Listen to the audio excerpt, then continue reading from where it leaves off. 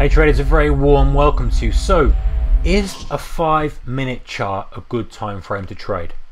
Very good question. For me, I like a five minute chart. Some people will absolutely hate it, but for me, I like it. Now, obviously, if you're swing trading, a five is probably too low for you. You're going to be looking at 15 hourly, 4 hourly, daily. You know, you're not going to go much lower than a 15, depending on what you're doing.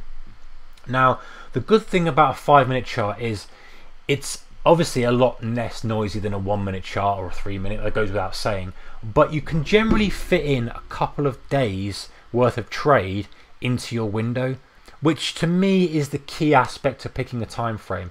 It's not a case of how many signals you'll get, it's not a case of whether it's you know you're getting multiple signals on one versus the other. It's a case of putting into perspective of what you're doing.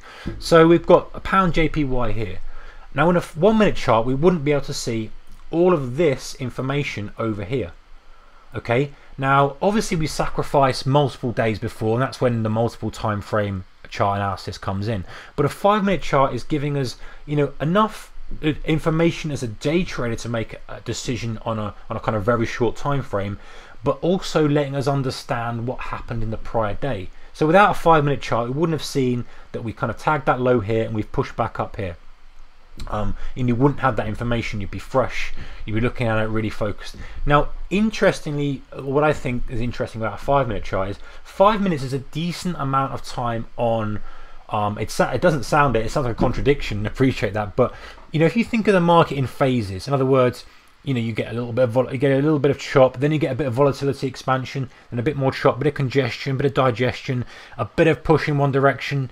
You know a five minute candle is not a bad amount of time when you slice the day up into segments like that and even go further. So if you're hmm. trading the open, you know, say it's an hour, the open's an hour or two, that's going to be four to eight 15 minute candles. It's very difficult to see a pattern in that.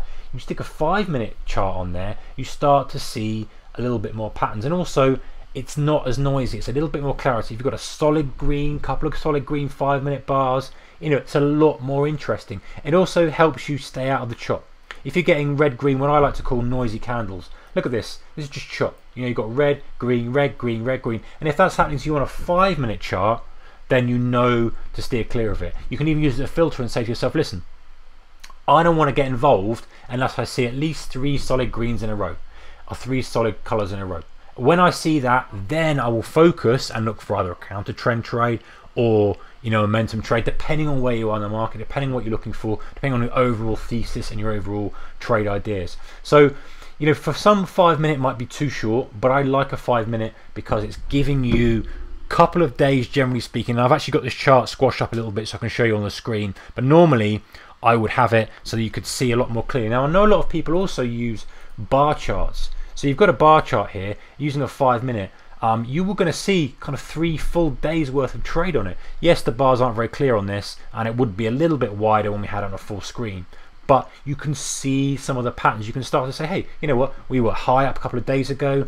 Keep it in perspective. We tried to push higher. It didn't work out. You know, we've pushed lower, done some work down here. The pullback is sort of 50% of this. We've struggled here, roll back over. Let me put that in perspective of what I'm trying to achieve. So if I'm going long here, for example, I'm saying, well, I'm, I'm very cautious because, you know, we have the price has been kept down lower, but I can still see the patterns. I can still see what's happened over a several day period, but I'm not being uh, kind of influenced by anything further than that because I don't need to be. You know, I'm trading on a day trading perspective. I'm scalping it, looking for a 15 minute move, an hour move, or whatever. I'm not so bothered about what's happening on a daily chart or a daily perspective.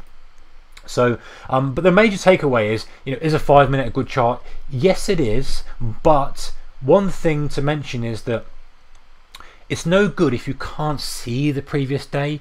Or let's say you've been chopping. Let's just very quickly talk about this. Let's say you've been chopping on day one. You know, you've been chopping on day two, and then day three you're getting involved.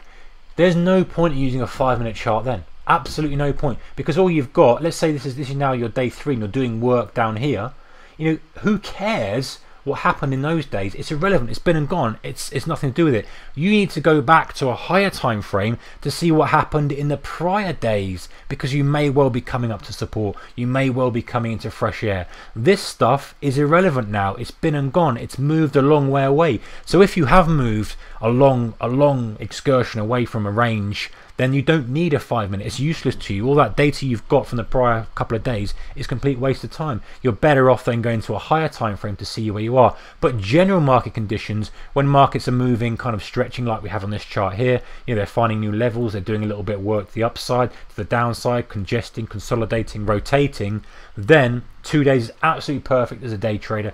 Gives you a good picture of what's happened today at the open, a good picture of what's happened at the close as well, the closing period. So give you those major time frames. The prior day's open as well, so you can see the main focus points everyone's looking at, see what's happened with them, and they'll help you make uh, a decision with your day trading. So let me know your thoughts, guys. What time frame charts do you like to use?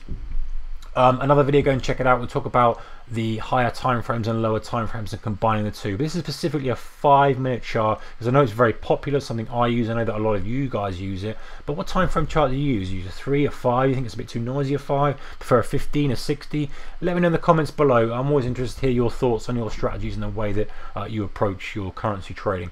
All right, guys, take care. Uh, if you enjoyed the video, give it a thumbs up. Don't forget to subscribe and see you in the next one. Bye bye.